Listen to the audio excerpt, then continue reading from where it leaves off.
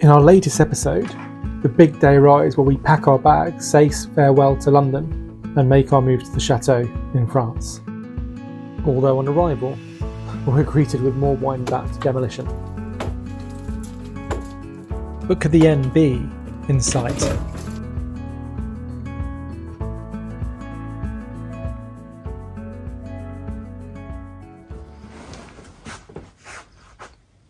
Hello.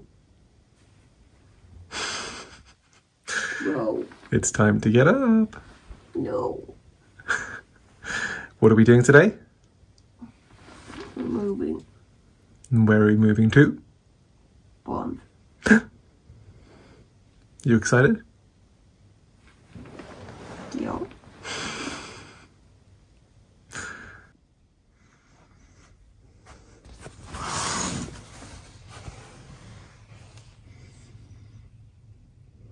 Last view, last time.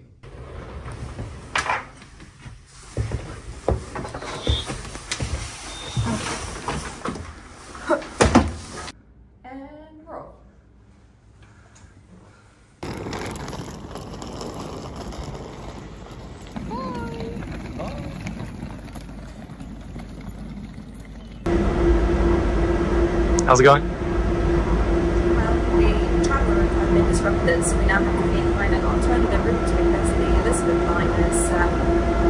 the massive chance of you carrying a lot of luggage up the stairs.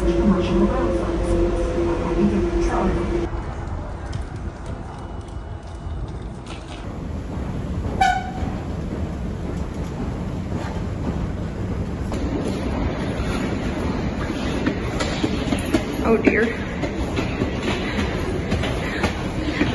Well done. Yeah, good practice for the chateau.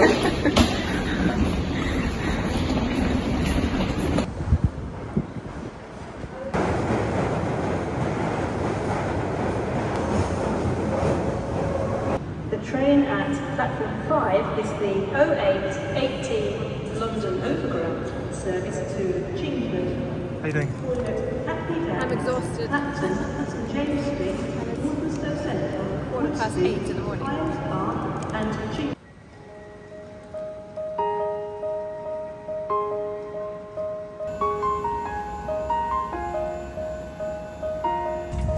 ladies and gentlemen, good afternoon and welcome aboard this uh, flight going to Bergerac. If Bergerac is not your destination, please suddenly advise yourself to a member of the crew.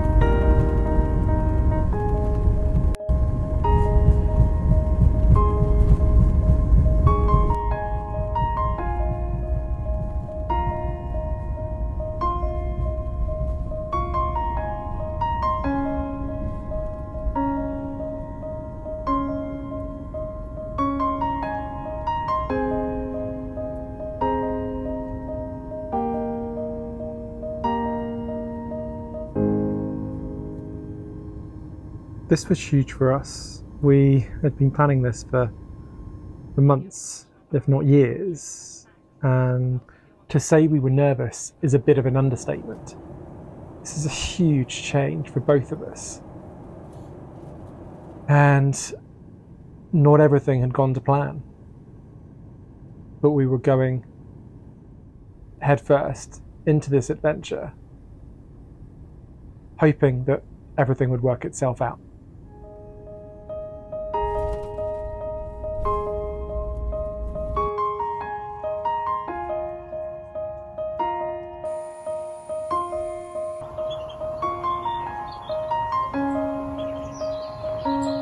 Här fina utsikt.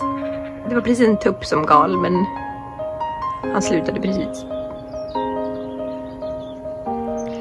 Och här är vår lilla rit. Så där är en annan rit där. Um, och här är vår.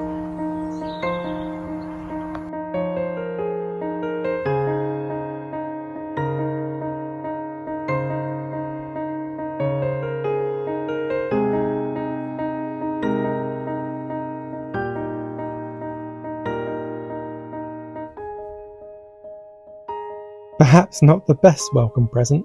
Thanks, pigeons, who seem to have made a nest for themselves on top of our um, only electricity box. And our fridge. Thanks. Wow, yeah, it was it was overwhelming being back. Whilst we may have had a plan for the overall chateau, we needed a plan to get ourselves in there within the next six months when our baby was due and the accommodation we had rented would run out. So the pressure was really on for us to figure out what we needed to do to make a part of the chateau habitable. When we bought the chateau, it was pretty much a blank slate. Ground floor, moving onto the garden, first floor, and then second floor. And we've been spending most of our time in these these first few episodes, really focusing on the the first floor, knocking down these structures here. So there's two walls there. Um, we also then had kind of the bathroom that was here, the toilet that was there, another wall that was here. Um, yeah, in fact, you can see all of that, which is now gone. Um, we obviously had this set dividing wall in the Grand Salon, which is now gone as well. And we also had another wall here, which is that old kind of 70s retro bedroom with cupboards and things in here. And so that's all that's all gone as well. So we've kind of got a very blank slate on this first floor now. And this is pretty much this section here.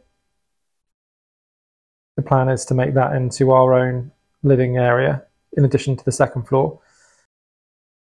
So perhaps easier to see what we were we were striving for, which is essentially on the ground floor. This is at the garden level to create this one bedroom gîte here.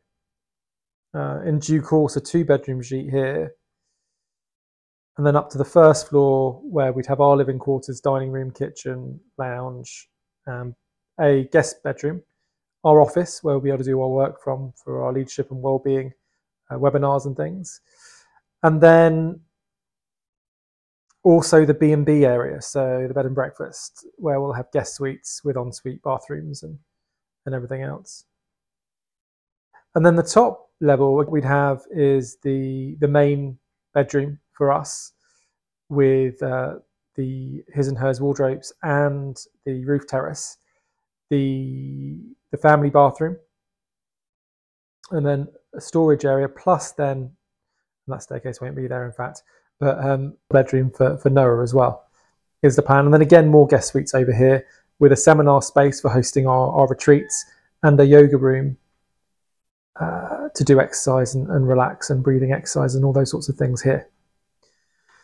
So we'd had it all planned out, but realistically, in the time frame we had, the only place that we could feasibly get done with the budget that we had, we hadn't got any loans, uh, we hadn't managed to sell our flat in London, and the banks in France were not playing ball at all. And so we had limited resources with which to make something livable.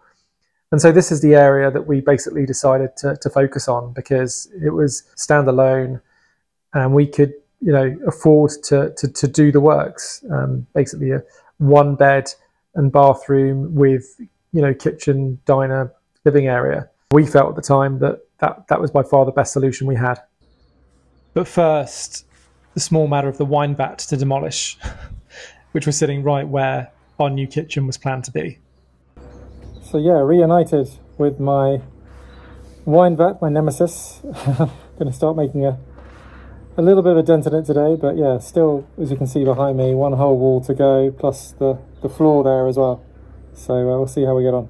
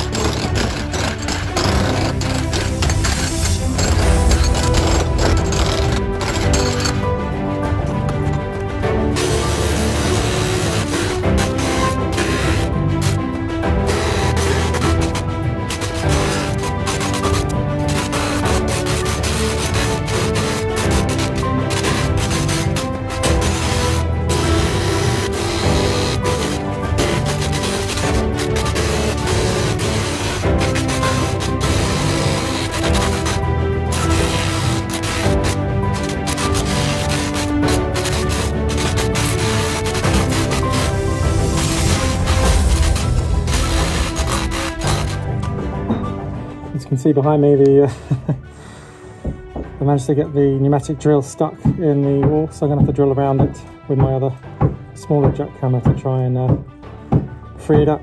But, uh, fun and game is trying to do this sideways. I mean, that thing weighs 40 kilos, so uh, a good workout.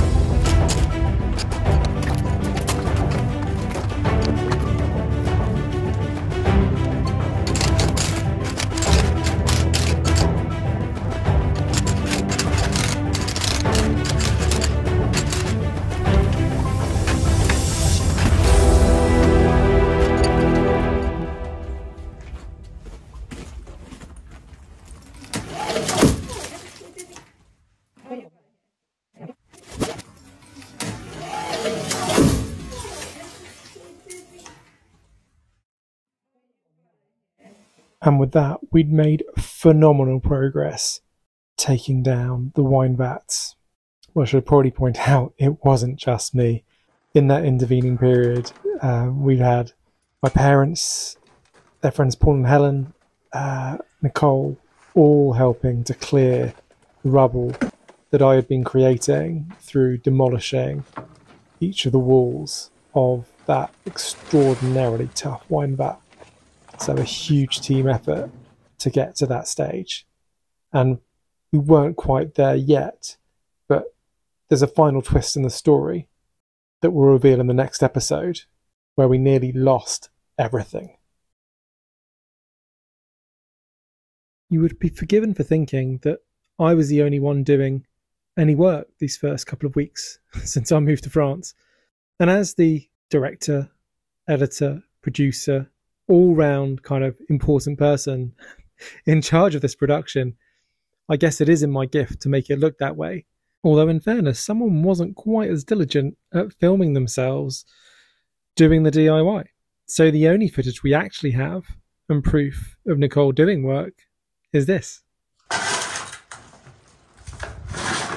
So, what are you doing? I am taking out all this mess here to see so we can see if we have a concrete floor, but it looks very promising.